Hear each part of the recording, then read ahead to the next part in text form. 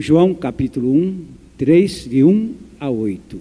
João 3, de 1 a 8. Havia entre os fariseus um homem chamado Nicodemos, um dos principais dos judeus.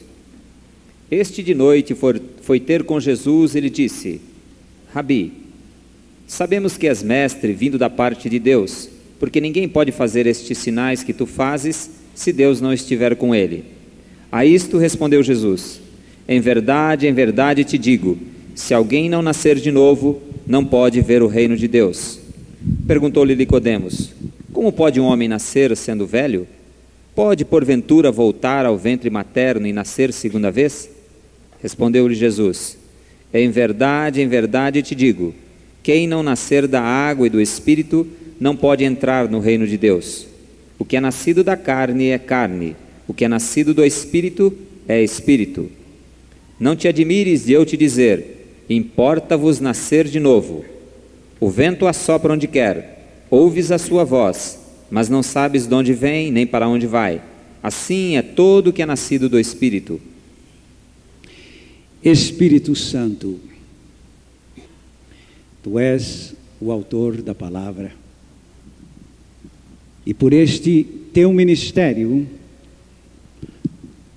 de revelação, tu vens ao nosso encontro, trazer-nos a tua palavra de tal maneira que o Pai seja glorificado.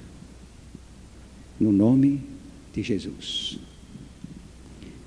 Dois pescadores estavam num só barco, pescando no meio de um grande rio. E, por qualquer razão, o barco em que eles estavam pescando emborcou e eles foram levados pela correnteza. Logo embaixo havia uma grande queda de água do rio, uma grande cachoeira. Ali seria a morte certa. Mas clamando por socorro, os moradores da beira-rio lançaram uma corda. E a corda, de fato, foi às mãos dos dois pescadores, dos dois náufragos. E eles agarraram esta corda. E os homens lá na beira começaram a puxar a corda, e eles perceberam que afinal estavam tomando um ponto seguro para se salvar.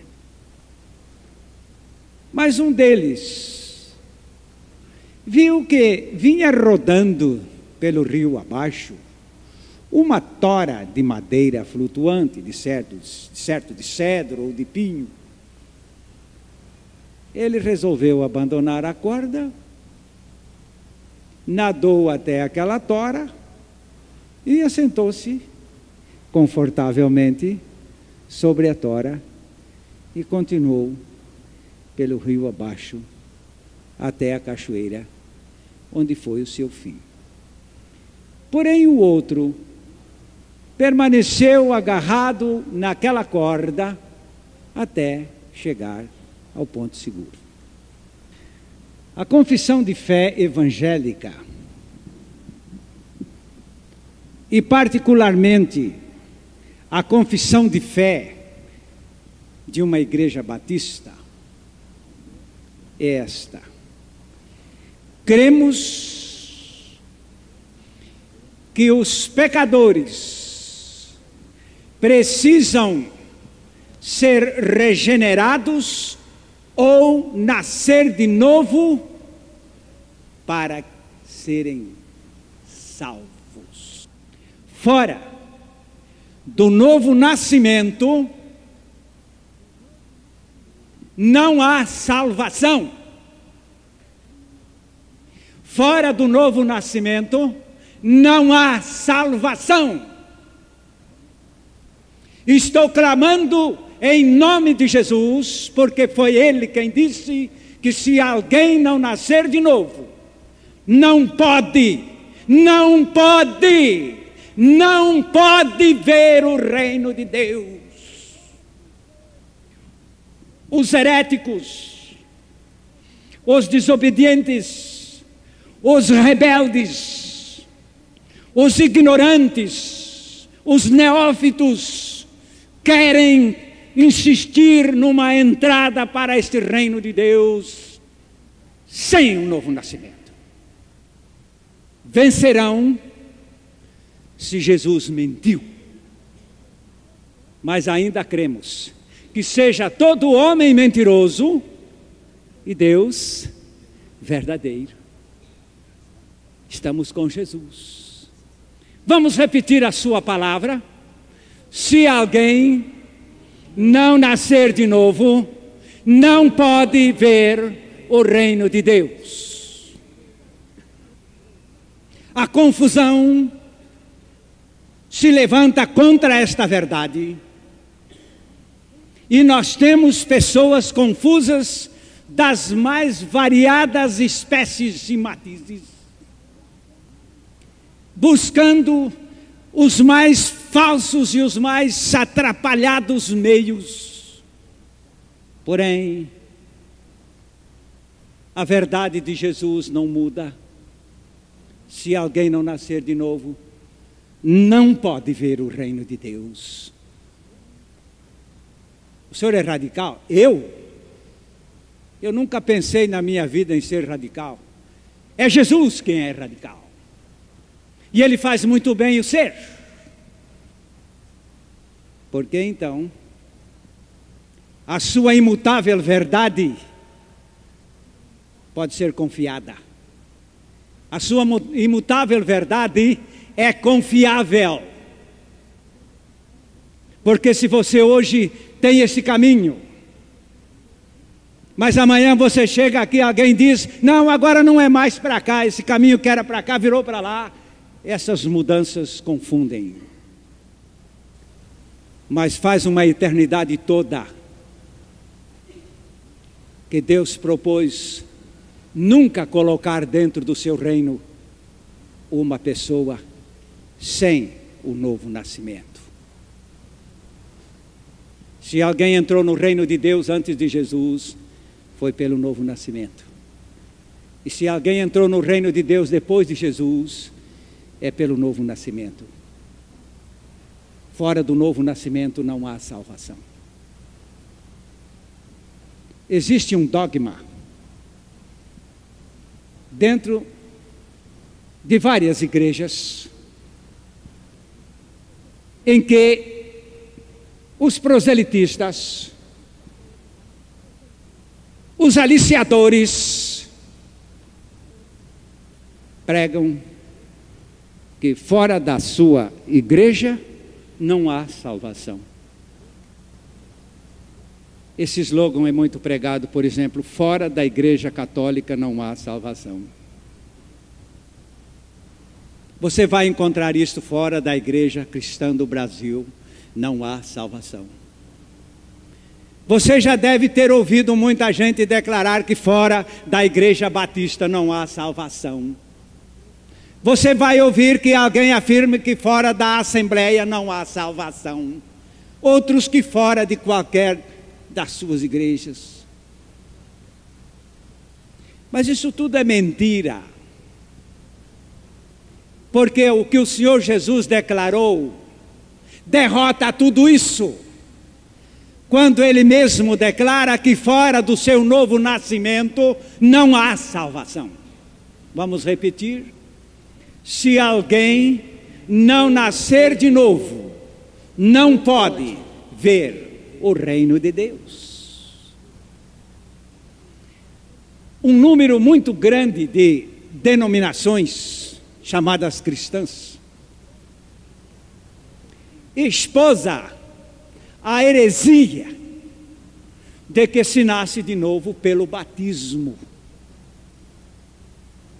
colocando, portanto, a salvação nesse batismo. Se ainda existe você entrar, entraria na sacristia de uma igreja católica em Olinda, em Olinda, lá juntinho de Recife, no estado de Pernambuco. E lá está uma pia batismal e escrito sobre a, a parede ali, aqui se nasce para a vida eterna.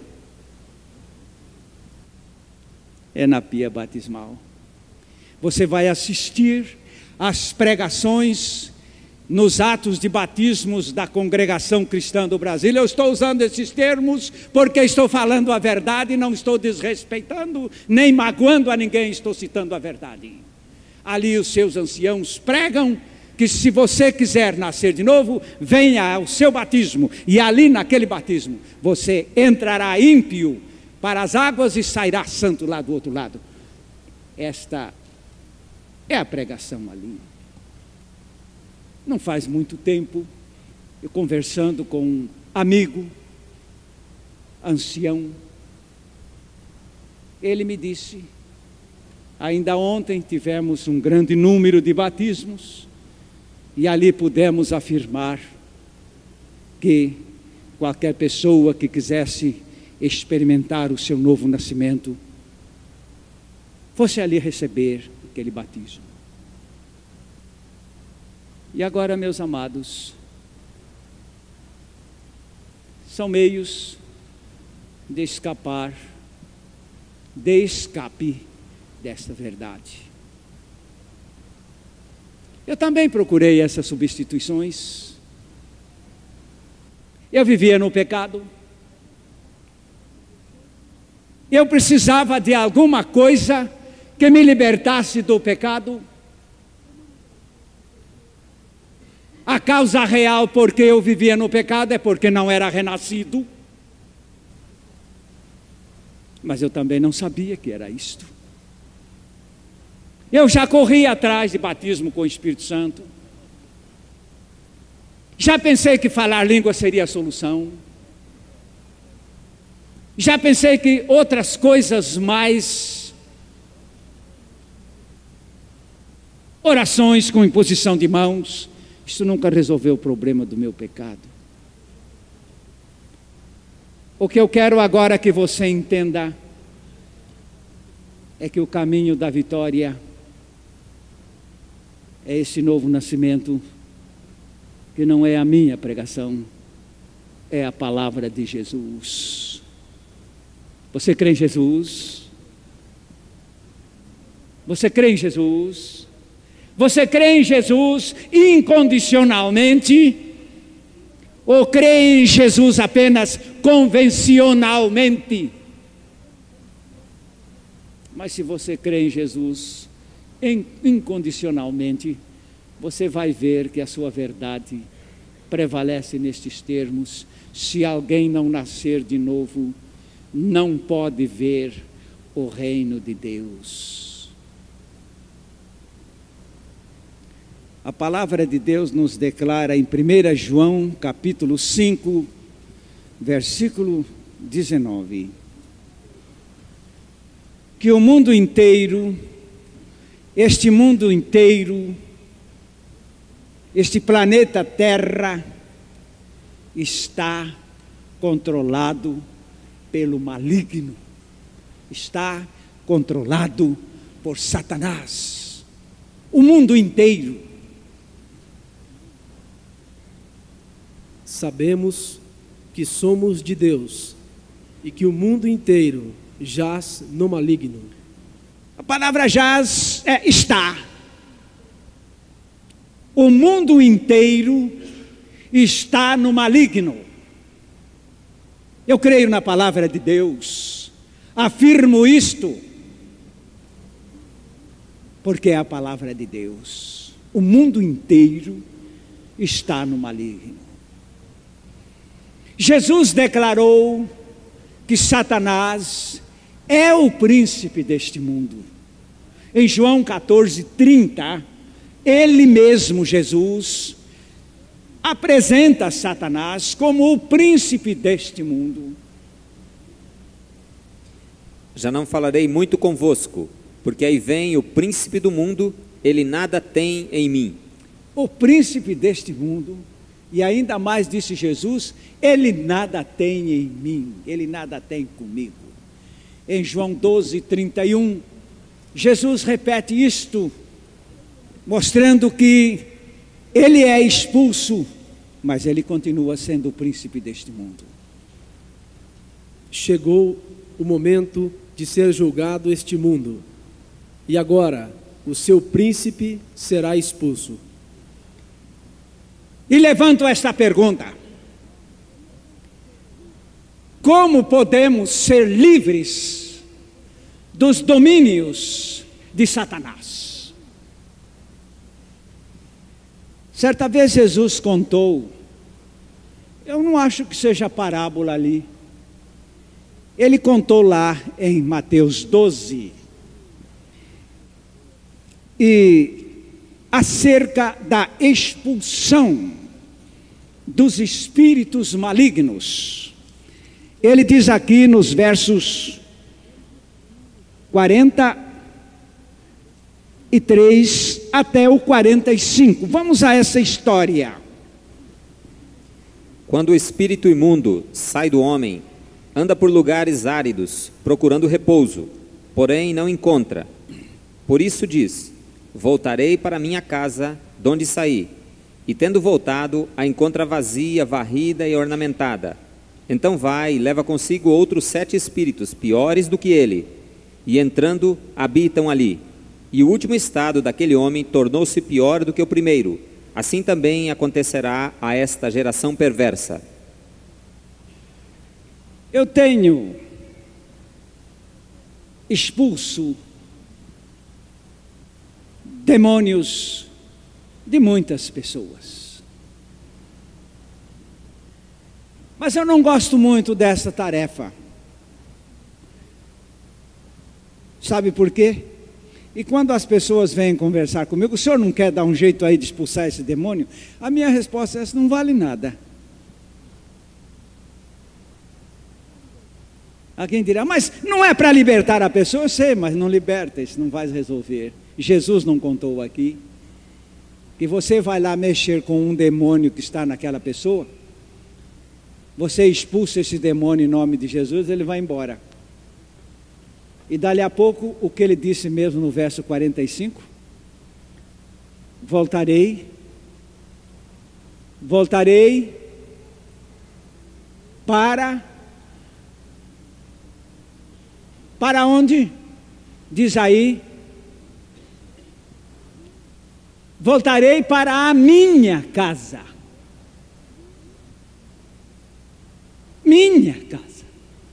Mas ele foi expulso? Sim, foi expulso, mas é, é minha. Ainda é minha.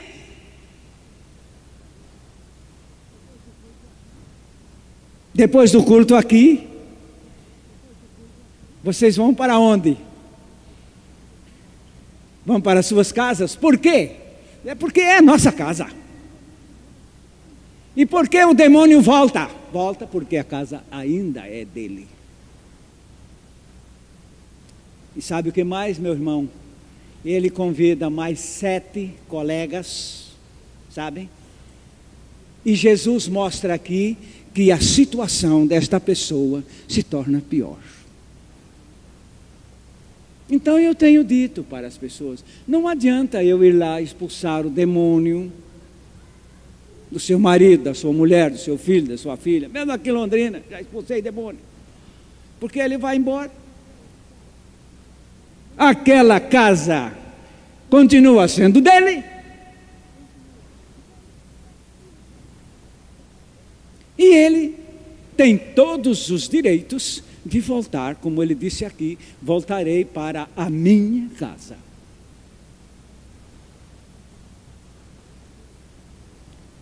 O Senhor está dizendo aí que o demônio está governando todo mundo, está governando todas as pessoas, e que todas as pessoas pertencem a Ele.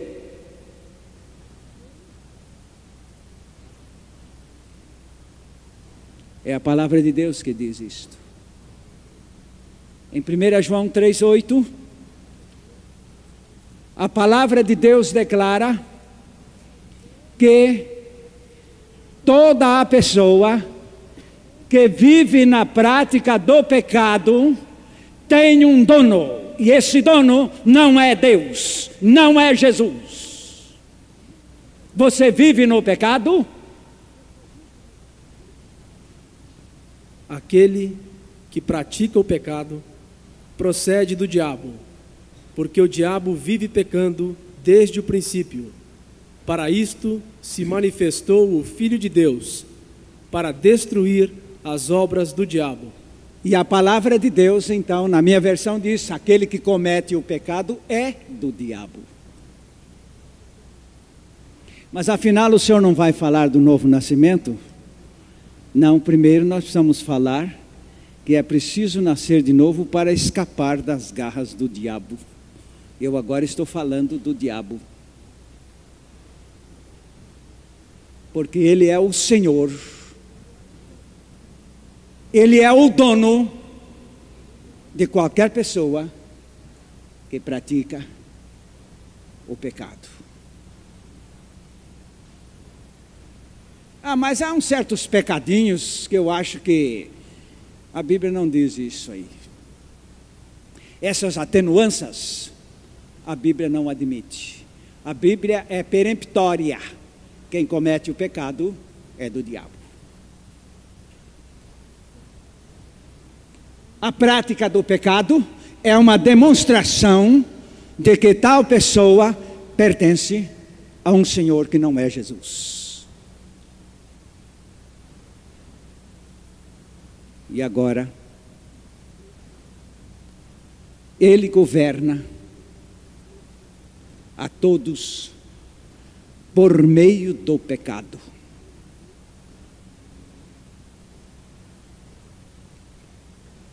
O pecado se manifesta em qualquer pessoa através da carne.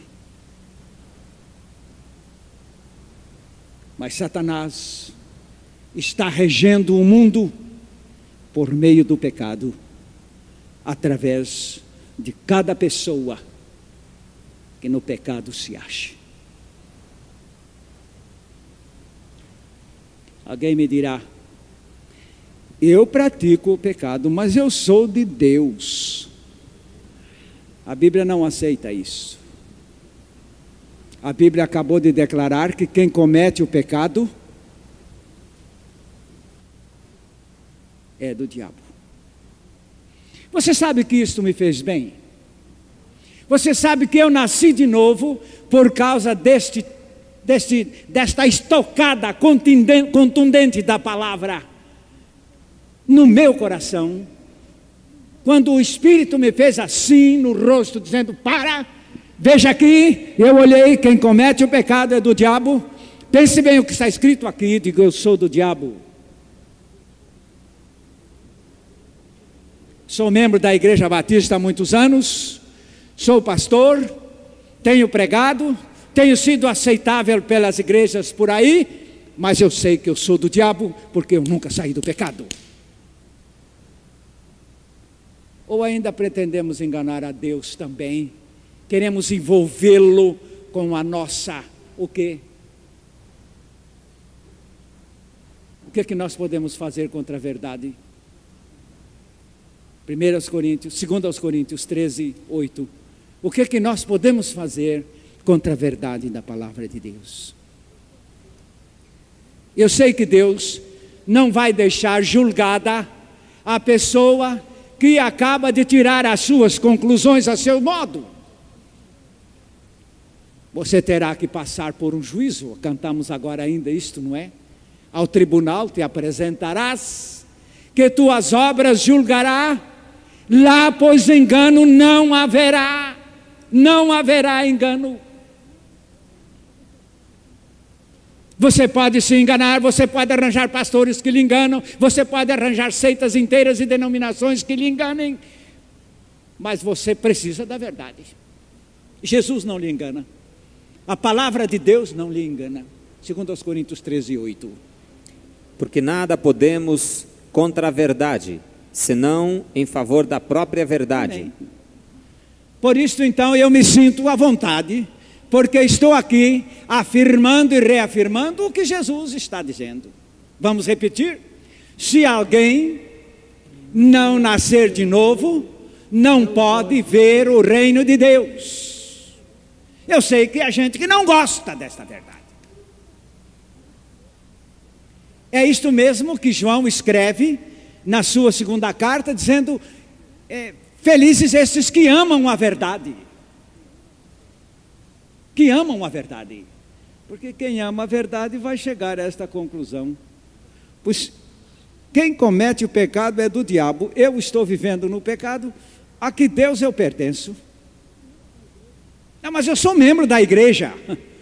A igreja é de Deus mas vive no pecado, é membro da igreja que pertence ao diabo. Eu não estou acabando de afirmar que eu era o pastor no púlpito da igreja, até de certa maneira respeitado, mas o meu patrão não era Jesus, porque ele me controlava pelo pecado.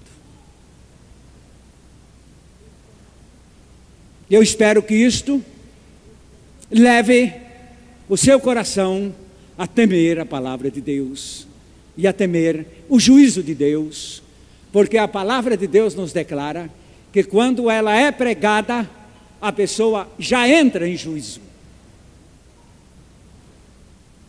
Já entra em juízo. Aqui nós temos isto no capítulo 12 de João, onde o Senhor Jesus declara, os versos 40, agora vamos ver o número de versículos. E 7 e 8. João 12, 47 e 48. Se alguém ouvir as minhas palavras e não as guardar, eu não o julgo, porque eu não vim para julgar o mundo, e sim para salvá-lo. Quem me rejeita e não recebe as minhas palavras, tem quem o julgue. A própria palavra que tenho proferido, essa o julgará no último dia. Está bem. Quem comete pecado é do diabo. E vamos levantar uma pergunta: quem nos livrará desta situação? Esses dias encontrei-me aí com um livrinho, eu já o havia lido, e o título desse livro é Quem nos livrará?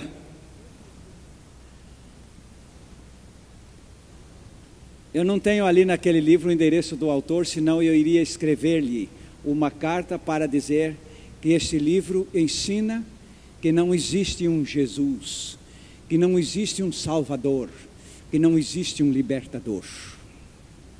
Esse livro termina aconselhando que você se conforme com esta vontade de servir a Deus, mas que você tem que se acomodar, é mesmo com a sua vida de pecado, porque é assim que é para ficar. O livro chega a uma conclusão desanimadora. E outro dia eu encontrei aqui na nossa biblioteca à venda, digo, por favor, se vocês não lerem o livro antes de colocar aqui, então perguntem porque esse livro não é desejável, não é aconselhável, porque ele te deixará com esta grande interrogação: quem nos livrará? Meus amados, estou aqui em nome dele mesmo para vos dizer que ele nos livra. Ele nos livra sim. Aquele livro não apresentou Jesus como o Filho de Deus, dizendo: se pois o Filho vos libertar, sereis verdadeiramente livres.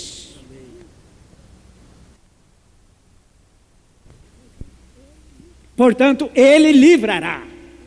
Convinha até escrever uma, uma, uma réplica, pegando toda a matéria daquele livro e chegando com esta conclusão: ele livrará. E agora, aquele mesmo texto que diz: quem comete pecado é do diabo, mas para isto o Filho de Deus se manifestou para destruir as obras do diabo. O que são as obras do diabo, meu irmão? O que são as obras do diabo? O pecado. Ou você ainda não sabe?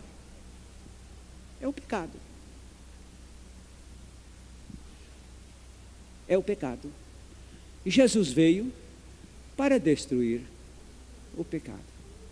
Aqui, no livro de Hebreus, no capítulo 9, nós encontramos esta declaração em que a palavra de Deus nos assegura que Jesus fez um sacrifício muito especial para nos libertar, destruindo, aniquilando, diz aqui, capítulo 9, eu estou lendo agora o versículo 26. Mas agora, na consumação dos séculos, uma vez se manifestou para aniquilar o pecado pelo sacrifício de si mesmo.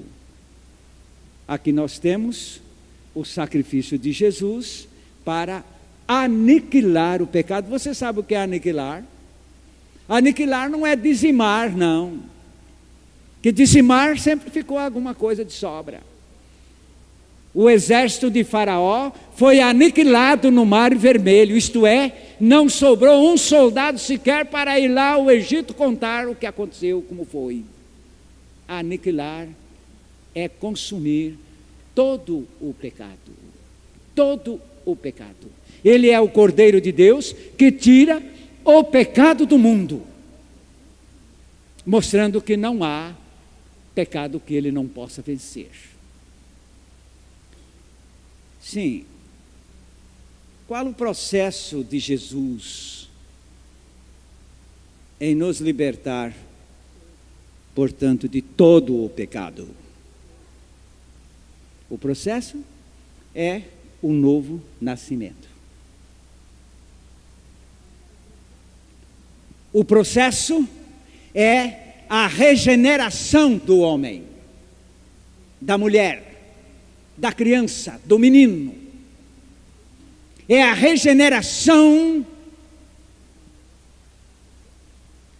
até mesmo dos ministros.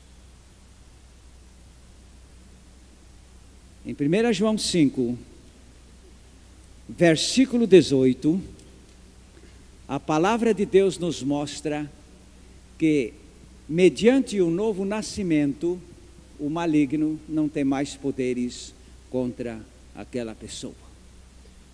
Sabemos que todo aquele que é nascido de Deus não vive em pecado. Antes, aquele que nasceu de Deus o guarda, e o maligno não lhe toca. O que você acha? Uma pessoa chegar a esta situação, a esta situação, em que o maligno não só não o domina, mas também não tem liberdade de tocar-lhe. Encontrei-me certa vez com uma endemoniada que havia acabado de apanhar uma irmã que era que se dizia nascida de novo, mas que não tinha testemunho nenhum, não tinha nada. E a endemoniada agarrou lá e foi uma luta tremenda. Ela abandonou a, a blusa nas mãos da, da, da endemoniada e voltou correndo, chorando, desesperada. E ela vinha certa de que agora iria continuar apanhando esses crentes aí. Mas quando ela chegou bem pertinho de mim, levando a sua mão, as suas duas mãos, eu disse: Você me conhece e você sabe que você não pode me tocar.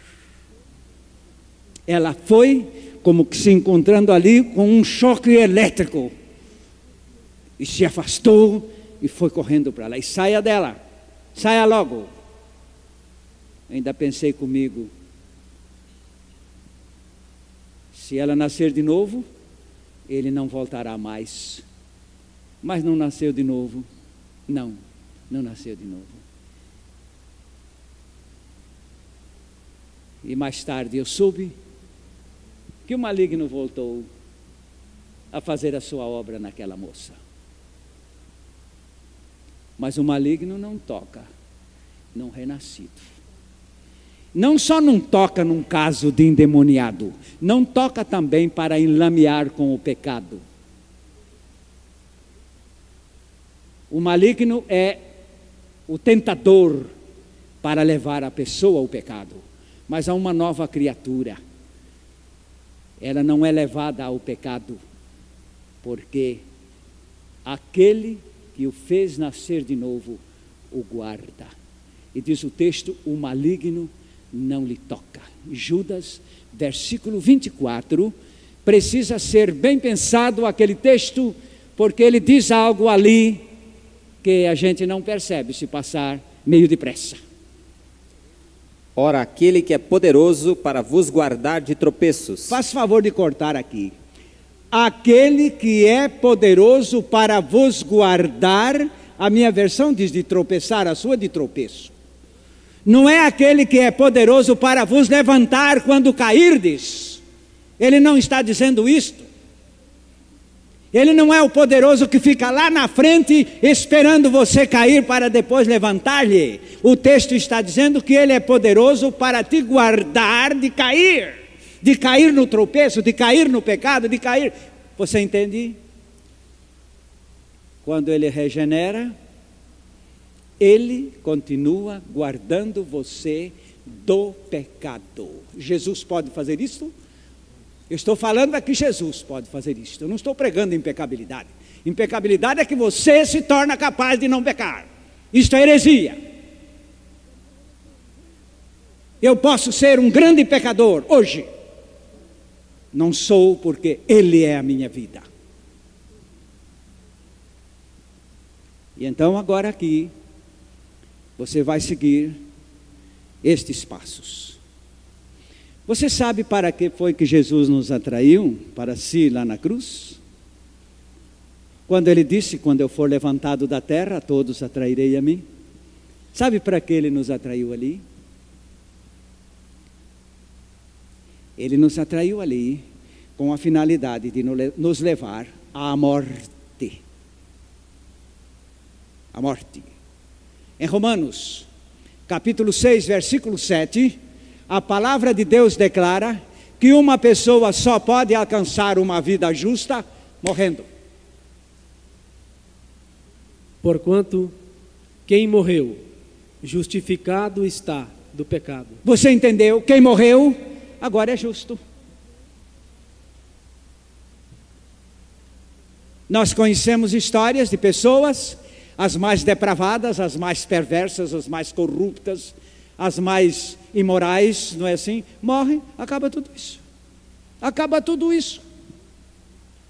Fica bonzinho ali, fica até assim. Por quê? Porque morrendo a pessoa cessa.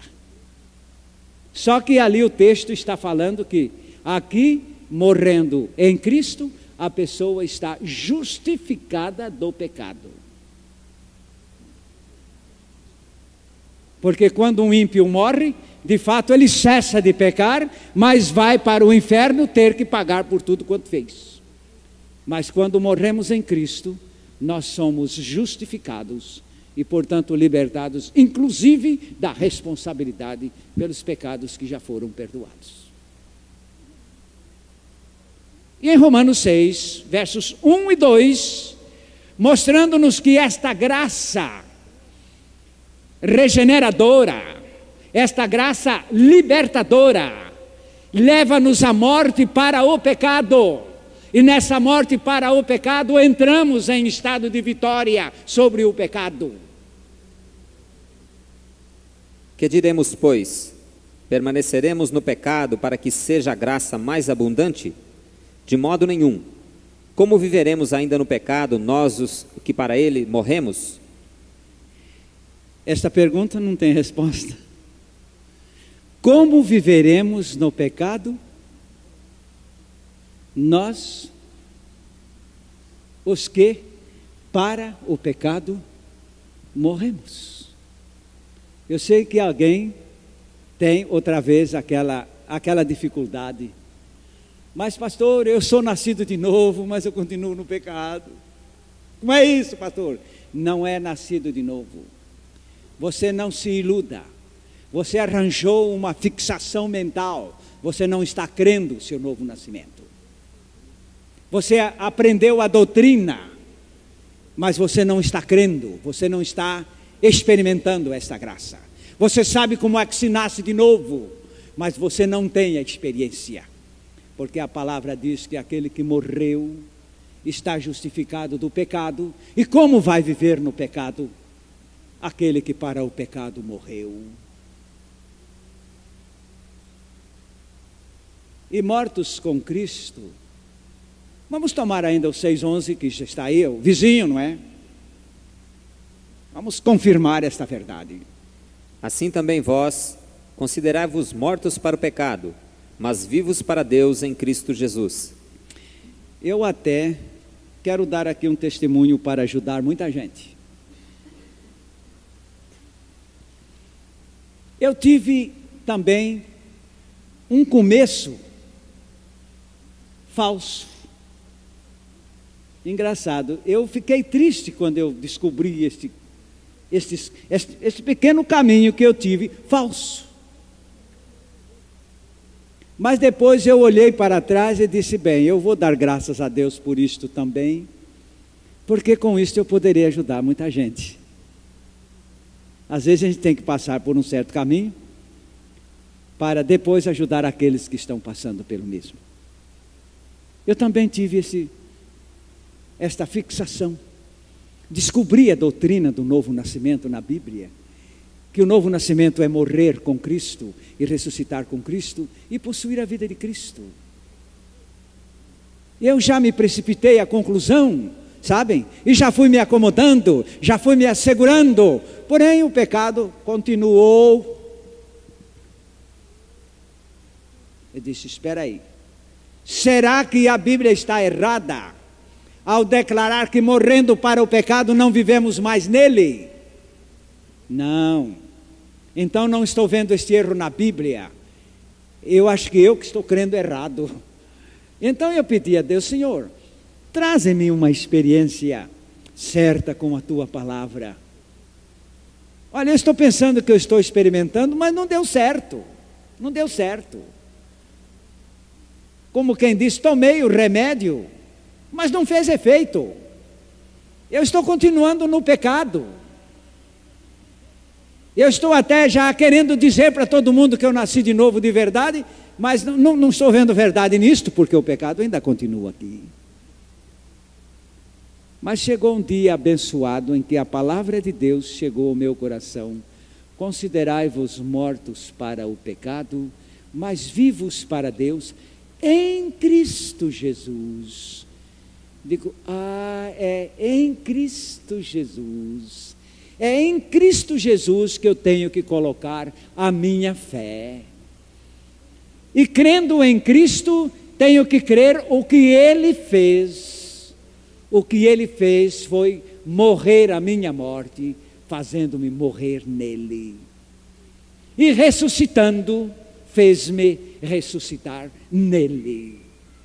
Então eu vejo aqui a verdade em que eu preciso descansar com a minha fé de uma maneira segura, que a palavra de Deus não pode estar errada, e então nesta segurança eu comecei a perceber uma coisa engraçada. Pecados que eu não podia vencer na minha vida. Guarde isto para o seu coração. Não sejas incrédulo que a palavra de Deus é a verdade, Cristo é verdadeiramente salvador do pecado. Estou contando agora pecados que eu nunca pude vencer na minha vida.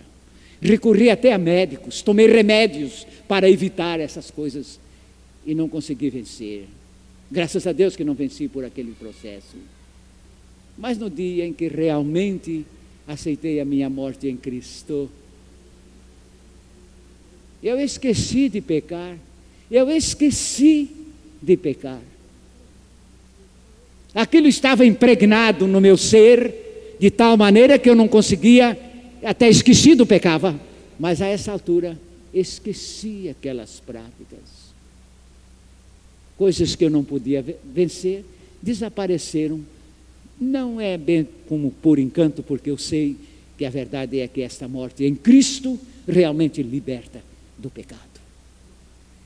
E depois disto, nós temos o outro lado da palavra de Deus. É lá em 1 João capítulo 3, E nós vamos ler dos versículos 6 a 9. Não é só o 9, não. É de 6 a 9. Vamos ler. Todo aquele que permanece nele não vive pecando. Todo aquele que vive pecando não ouviu nem o conheceu. Filhinhos, não vos deixeis enganar por ninguém. Aquele que pratica a justiça é justo, assim como ele é justo. Aquele que pratica o pecado procede do diabo, porque o diabo vive pecando desde o princípio. Para isto se manifestou o Filho de Deus, para destruir as obras do diabo. Todo aquele que é nascido de Deus não vive na prática de pecado, pois o que permanece nele é a divina semente. Ora, esse não pode pecar, porque é nascido de Deus. Esta palavra divina semente equivale à vida de Jesus em você. Essa vida de Jesus em você te domina com muito mais poder do que o pecado lhe dominava. Por isto a palavra diz que aquele que é nascido de Deus, diz o verso 9, não vive na prática do pecado. Quando se diz que Jesus é Salvador, Ele é Salvador por meio desse novo nascimento. Pregar que Jesus é Salvador e não pregar o novo nascimento, pregar que Jesus é Salvador e negar o novo nascimento, pregar que Jesus é Salvador e anular a eficácia do novo nascimento, é anular Jesus como Salvador. É pregar em vão. É isso que o diabo quer. Que os pregadores falem muito de Jesus como Salvador, mas não falem certo como Jesus salva, porque Jesus salva pela regeneração. Jesus salva pelo novo nascimento. Agora, tudo o que queríamos dizer nesta mensagem é que é preciso nascer de novo, porque este processo de Jesus é o único que salva do pecado. É o único que salva da perdição, é o único que salva do inferno, é o único que salva do lago de fogo, é o único que pode dar a uma pessoa o reino de Deus. É pelo nascimento. E agora, aqui na palavra de Deus, nós temos esta afirmação nos versículos 14 e 15 de Gálatas 6. 14 e 15 de Gálatas 6. Vamos lá, para concluirmos nesta verdade preciosa da palavra, que o novo nascimento é sine qua non, a não ser que os indivíduos queiram mesmo se enganar e irem para o inferno. Então se façam religiosos, se façam fanáticos, se façam confusos, façam-se como quiserem porque a essa altura é o novo nascimento, o único caminho certo de Jesus para salvar pecadores. Mas longe de mim esteja a gloriar-me, senão na cruz de nosso Senhor Jesus Graças Cristo, pelo qual o mundo está crucificado para mim e eu para o mundo. Pois nem circuncisão é coisa alguma, nem incircuncisão, mas o ser nova criatura. Amém. Amém. É nesta glória, diz aqui a palavra de Deus, na cruz de Cristo. O meu saudoso professor, que me marcou muito, declara em um dos seus comentários, então, da Epístola aos Gálatas, citando o capítulo 6, versículo 14 ele diz o seguinte: o gloriar-se na cruz de Cristo é estar crucificado com Ele. O gloriar-se na cruz de Cristo é estar crucificado com Ele. W.C. Taylor declara isto. Gloriar-se na cruz de Cristo é estar crucificado com Ele. E acrescenta: dizer-se cristão e não ter ali naquela cruz crucificado o seu velho eu é ser hipócrita. São suas palavras naquele comentário. Porque esse modo de cristão, de rótulo, é um grande testemunho de hipocrisia. Mais uma vez, crucificados com Cristo, não há mais hipocrisia. Crucificado com Cristo, não resta mais razão para se ludibriar ou enganar a si e muito menos aos de fora. Porque nesta nossa morte com Cristo, nós ficamos, de fato, sinceramente colocados numa posição vitoriosa. E ele termina ali no versículo 15 declarando: Meus irmãos, a circuncisão, que é toda a raça de Israel, e a incircuncisão, que são todas as raças gentílicas. Logo, nestas duas palavras, ele colocou o mundo inteiro na circuncisão Israel, na incircuncisão o restante do mundo.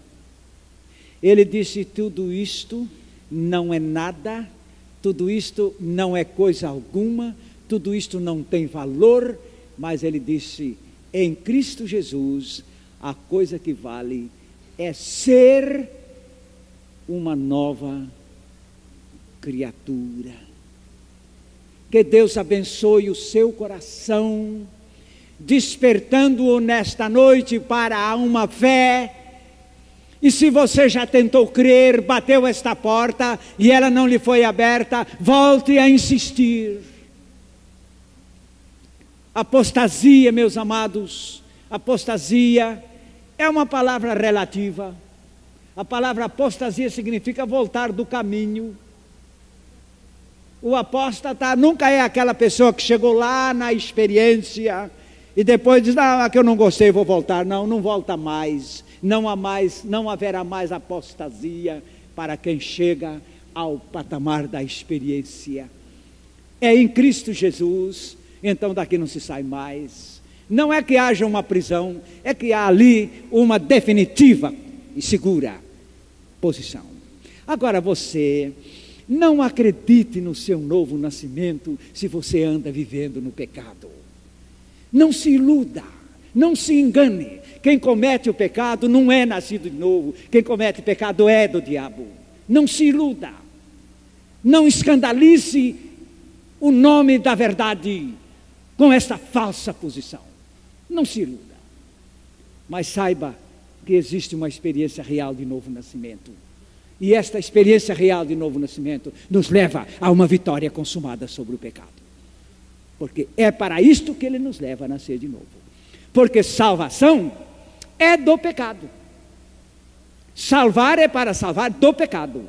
E se ele salva do pecado, o seu processo salvador é este novo nascimento. Eu gosto de Jesus porque ele não tem meia dúzia de medicamentos para tratar os outros, não é? Às vezes nós temos esse tipo de, de receituário, não é? Como é que está aí? É uma dorzinha de cabeça, lavar um remédio para isso. Como é que está mais? Eu estou com um, uma, uma, indisposição, mais um remédio para isso. E estou com mais um, a vista baralhada, mais um remédio para isso, você entendeu? É mais um remédio para cada cada problema. Jesus não é assim. Ele tem um remédio para todos os problemas. Eu estava vendo na flora medicinal um tal de remédio chamado cura tudo, mas depois eu fui lá anotar, não era não, não cura tudo não. Cura uma opção de coisa, mas não é tudo. Mas o novo nascimento cura tudo.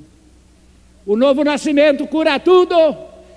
Ele cura a desgraça do seu interior, ele cura a desgraça do seu lar, ele cura a desgraça do seu país, ele cura a desgraça do mundo, ele cura tudo. Este é o processo de Jesus salvar. Portanto, Se alguém não nascer de novo, não pode ver o reino de Deus. Este novo nascimento está ao alcance de qualquer pessoa, de qualquer pessoa.